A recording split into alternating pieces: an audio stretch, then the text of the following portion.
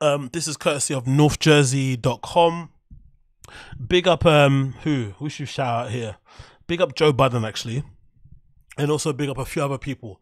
But Joe Budden I think was the first person to call out this scam. And if you're not aware, DJ Envy, right? This guy here, uh, DJ Envy. Let's see if I can find him. This guy is involved in a you know a pretty crazy case where he was promoting these sort of like um house flipping seminar type of things. I don't know if you guys have heard of them where essentially for some reason i guess you know black and brown people who felt like they could have their ticket out of poverty were getting enamored. I think around the pandemic time with the idea of kind of you know having a port, port a property portfolio and being able to kind of you know buy houses and flip them. So the idea was you'd buy a dilapidated home you do it up in terms of you know in interior design, all that malarkey, and make it livable, and then you'd flip it. And the idea behind that was to create some money for yourself, create some wealth, and obviously um, allow you to be a landlord so that you had like you know um, income coming in all the time. And it was a very very um, it was a very appealing thing because it legitimately provided some people with a, a legit route out of poverty. But naturally, it just seemed too good to be true.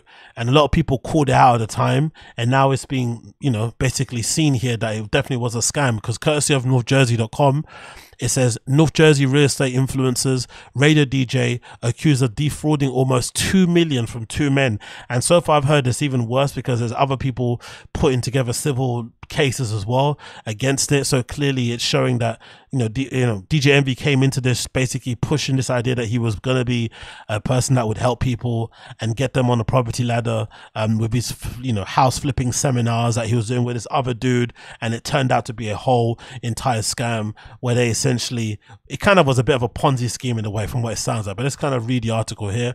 It says a New Jersey real estate influencer and couple, um, well-known radio DJ are the center of a new lawsuit claiming that they conned two men into investing 1.5 million in apartments in Paterson with no results to show.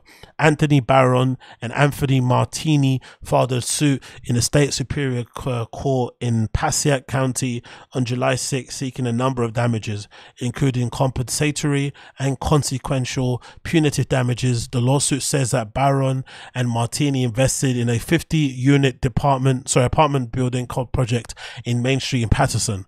Um, that's that's New Jersey, right? Paterson, I'm assuming. Um, I think a rap who lives there. Lots of people, rappers live there and shit. I always hear Paterson be mentioned. The per se Bergen County residents Cesar and Jennifer Pena disappeared, taking their money and leaving Barron and Martini with nothing to show for their investment. Honestly, people are awful in it. Um, the number, the phone number for Cesar Pena's one-on-one real estate construction company um, did not have a voicemail set up. It continues. It says the suit says that in 2018, Barron heard radio, radio personality DJ Envy of Power 105, whose real name is Rashawn Casey, talk about his partnership with the Penas. What sort of name is Rashawn? That's got to be Caribbean, isn't it?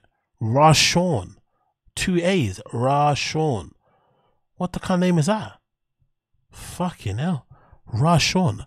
According to the suite, Casey would buy undervalued homes in Paterson and flip them to sell to or to rent for positive cash flow or short term investment. Casey did not immediately respond. In 2019, the Penas and Casey specifically promoted the Taylor Apartments investment um, to Barron and Martini, that September, Cesar Pena set up, um, sent Martini a formation certificate and stock purchase agreements to purchase 25% of Taylor's apartments to own and develop the project.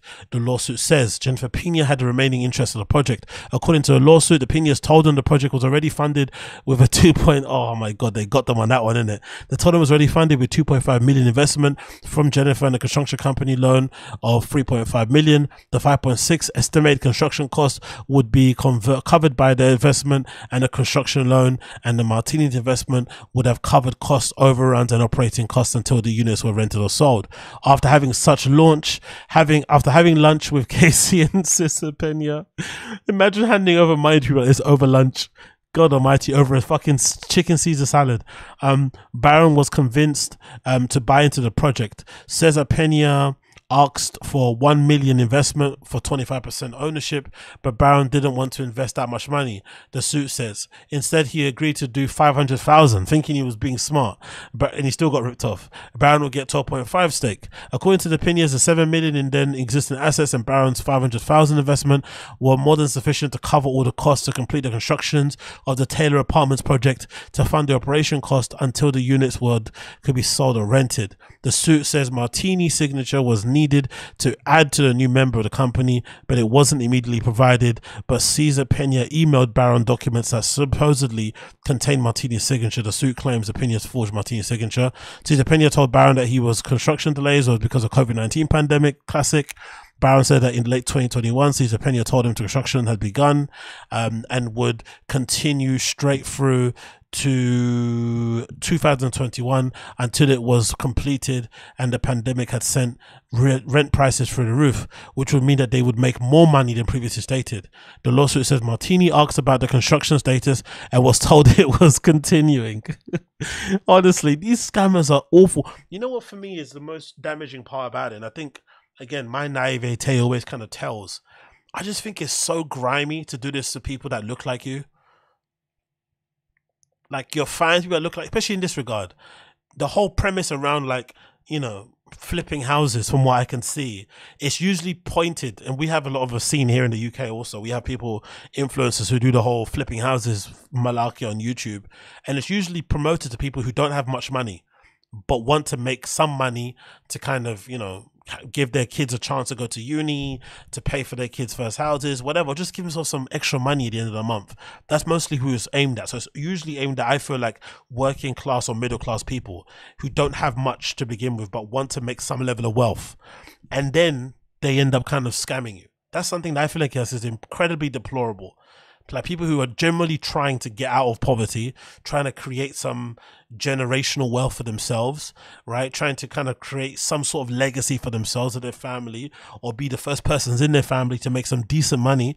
And you know, you know what that is, what that's like for people that kind of black and brown and have grown up in the same environment that you have, who've gone through the same struggles. You know how hard it is to get some money, and then they get it, and then they fucking scam it all away. It's awful, man. It's so bad. And usually, what they do, from what I've seen here, they usually scam you cleverly because what they do is that the first few people that come in, like a good Ponzi scheme, they get the benefits, right? The first few people that come in, the flipping houses thing actually works. So they come in, they help you build up your portfolio. They help you to build, you know, for building constructions and renovations and leasing and letting and renting. They help you with all of that.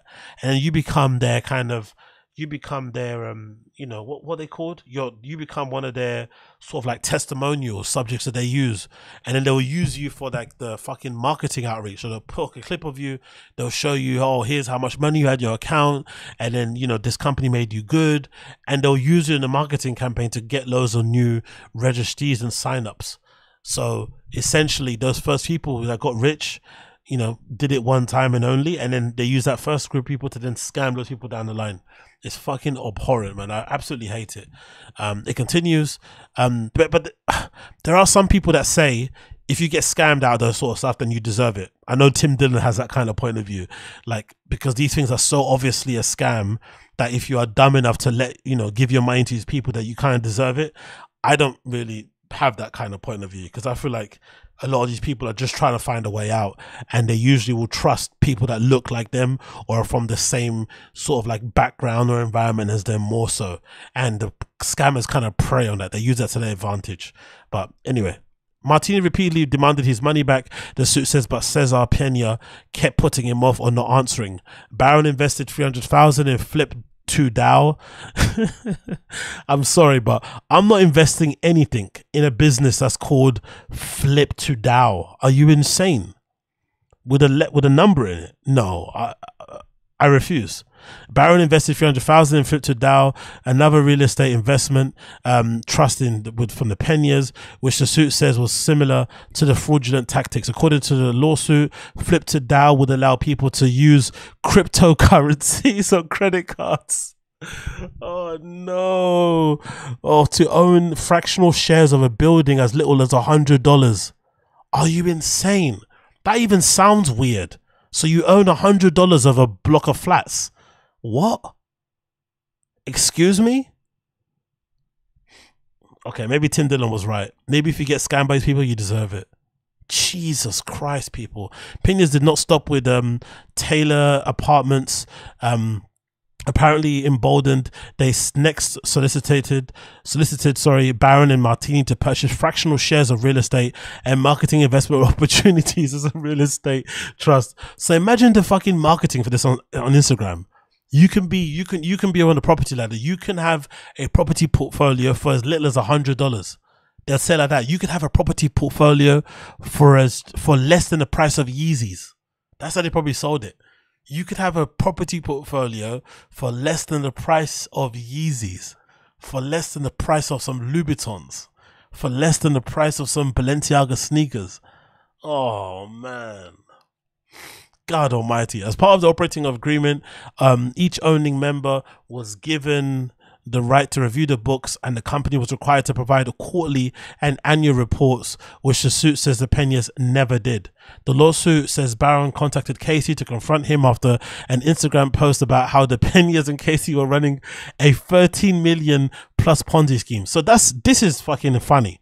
Most likely he got pulled in by the Instagram promotions and promote ads and then he also found out it was a Ponzi scheme because of an Instagram news clipping or something. Can you imagine how funny that is? They reel you in through Instagram promote ads, and then you find out it's a Ponzi scheme because of an Instagram financial blog thing or something, news platform.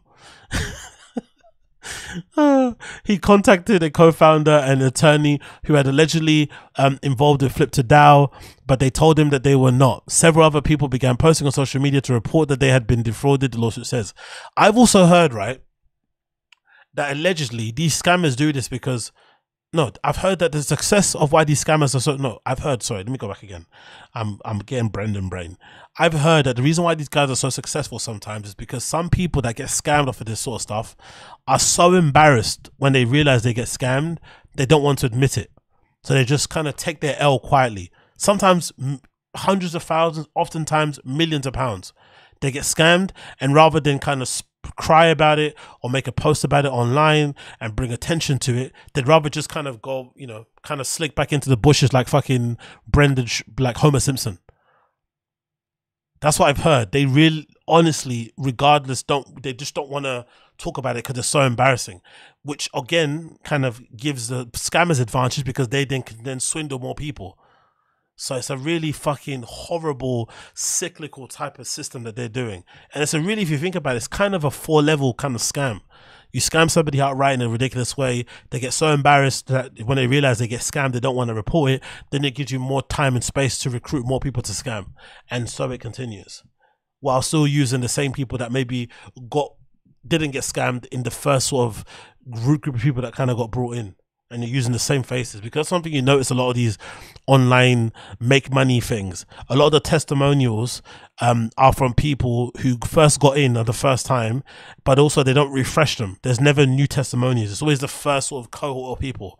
They never have new people. Okay cool. This person signed up in july or this person signed up at the beginning of fucking april and this is what they've done. It's always the people that started up at the beginning of beginning of the fucking thing but never new fresh people. That's always a sign that's a scam. Anyway Barron demanded his money back, and the lawsuit says that Peñas have not responded to further requests for money to be returned, and then they appear to not be living in their home in Franklin Lakers. Recent Instagram posts show Jennifer Pena in Miami. Cesar Pena's Instagram account is no longer active, but the couple's flipping NJ account posted the video on the 10th of July. Motherfuckers. As far as Barron can determine, the Pena simply took his money for their own personal use um, to pay off victims of an earlier scheme. I actually want to see what the Instagram account looks like. Flipping NJ. Let's see what this looks like. I'm really curious to see what this scam actually looks like in full HD. Let's see this. What's flipping NJ look like? Is it just loads of Bugattis and loads of fucking Rolls Royces and balcony views? Look at that. Look at this. Look at this shit. you know, daughter graduated from college, you know, nice for some people. You got group economics, Flip to DAO, no such thing as whatever promotion here. You got again clips of building sites, seminars, more building sites. more building sites, daughters driving nice cars, hanging out with people, live shows, beaches. Just scammy in it. It just looks like a fucking scam Instagram account. Looking at it, to be fair, all these infographic type of things just look like pure scamology. But oh, I don't know, man. I feel bad for the people that got scammed. I can't lie. I, I can't not feel bad for them for getting robbed. But you know, it kind of is what it is, I guess, in this regard.